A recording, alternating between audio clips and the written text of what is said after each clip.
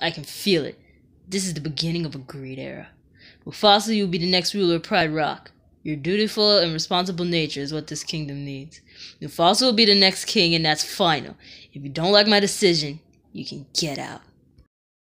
Hey Taka, I just asked father if we can go to the watering hole, and he said yes. Let's go! Guys, I have great news. I'm gonna be the next Lion King. Isn't that great? Oh, father dear, didn't you promise to take me, uh, Mufasa and me hunting this morning? I'm tired of waiting. Something more important always comes up when you're supposed to take me somewhere. Mufasa gets all the attention. After all, Daddy's favorite is gonna be the next Lion King. So the boss chose your brother to be king? Boy, the top cat sure has an attitude. We're with you, Taka. Every step of the way. Hey guys, I just wanted to thank Olivia the Queen and wanted to give her a shout out for making this amazing idea.